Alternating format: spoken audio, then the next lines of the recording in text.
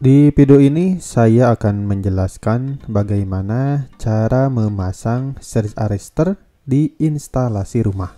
Sebenarnya untuk pemasangan surge arrestor ini paling banyak dipakai di rumah-rumah yang dataran tinggi ya, yang sering sekali hujan diikutin dengan banyak petir.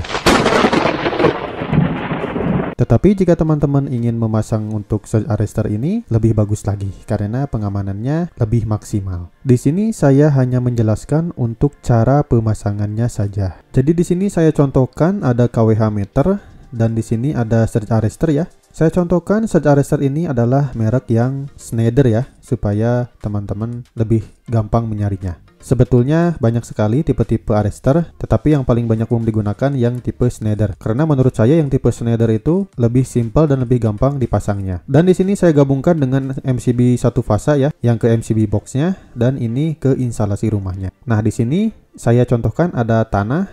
Kenapa harus ada tanah? Nanti saya akan bahas. Jadi langkah pertama yang harus kita pasangkan itu yaitu dari KWH meter ke arrestor ini. Saya akan pasangkan dulu netralnya Lihat. Nah, dari netral ini, dari KWH meter, dimasukkan langsung ke netral yang ada di arrestor. Selanjutnya, dari fasanya, dari MCB ya, dimasukkan ke arrestor juga. Nah, perlu diperhatikan bahwa di arrestor ini kan sudah ada petunjuknya ya, ada N dan ada L1. Kalau teman-teman lihat di arrestornya, kalau sudah ada kode kayak gini, teman-teman tinggal disamakan saja. L1 ini adalah line ya, line 1 atau fasa, dan N ini adalah netral. Jadi fasa dan netral dari KWH meter dimasukkan saja langsung ke arrestor sini. Selanjutnya kan dari KWH ada tiga buah kabel yaitu fasa, netral, dan ground. Sekarang groundnya kita pasangkan di terminal kuningan ini supaya nanti untuk instalasi rumah. Nah setelah dipasangkan di arrestor ini kita tinggal pasangkan dulu masuk ke MCB. Nah kayak gini. Dari L1 bisa dijamperkan langsung ke MCB. Nah, sering banyak yang nanya ke saya, untuk pemasangan ke MCB itu dari atas atau dari bawah sih? Sebenarnya gitu kan? Kalau saya pasangkan dari bawah, kenapa? Karena kalau di Puil ya, teman-teman bisa lihat di Puil 2011 yang edisi 2016 bahwa untuk pemasangan dari KWH meter menuju ke MCB itu mengarahnya ke bawah. Tetapi jika teman-teman pengen dari atas silahkan. MCB ini tetap juga bisa memproteksi, jangan dipermasalahkan. dari bawah, dari atas boleh silahkan. Selanjutnya saya akan pasangkan dari netral nih, dari N-nya dijamperkan saja langsung, masukkan aja langsung ke instalasi rumah. Nah, ke sini. Setelah itu, dari output MCB satu fasa ini dimasukkan langsung ke instalasi rumah. Dan dari grounding masuk ke instalasi rumah. Nah, berarti ke instalasi rumah ada tiga buah kabel, yaitu fasa, netral, dan grounding.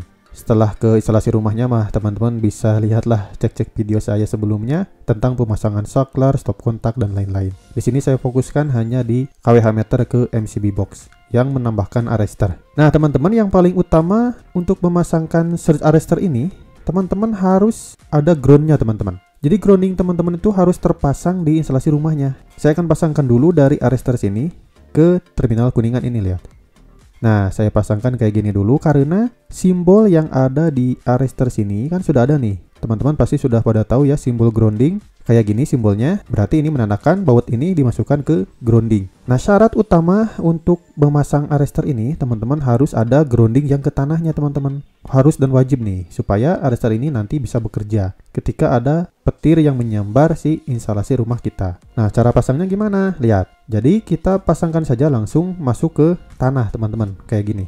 Dan saya sarankan teman-teman untuk grounding arrestor ya, khusus arrestor ini groundingnya sama grounding instalasi rumah kayak gini lihat.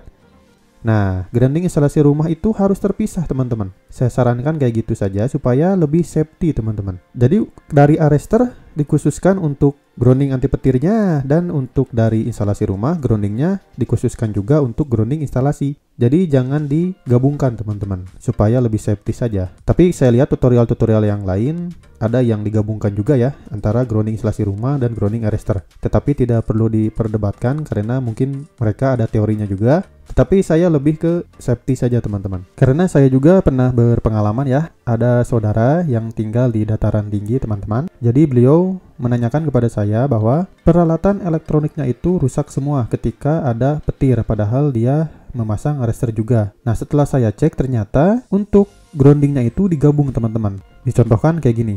Nah, digabungnya itu kayak gini. Jadi dari keluaran arrestornya dimasukkan ke ground instalasi rumah. Dan untuk ground instalasi rumah juga yang ini yang warna kuning ini, dia digabung juga dengan ground ke arrester sini. Saya juga kan aneh gitu, kenapa kok bisa peralatan elektroniknya kena juga ketika ada petir. Nah, yang saya tangkap itu mungkin terjadi kayak gini teman-teman lihat. Nah, jadi ketika ada petir menghantam instalasi rumah kita, arrester ini akan langsung memproteksi dan langsung mengalirkan tegangan tinggi tadi langsung ke tanah. Nah, entah kenapa mungkin ini mah mungkin ya, dari keluaran arrester ini ada yang kembali ke instalasi rumah ke sini lihat. Nah, yang bawah ini, yang merah-merah ini ada yang ke instalasi mungkin.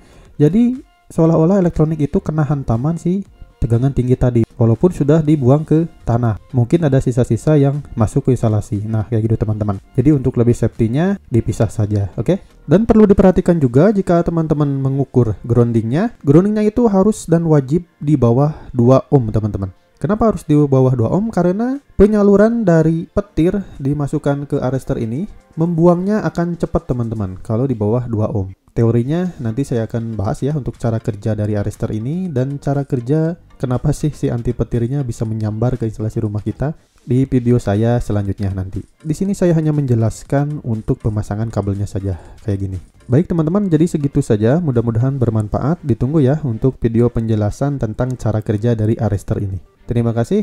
Ditunggu untuk video saya yang selanjutnya.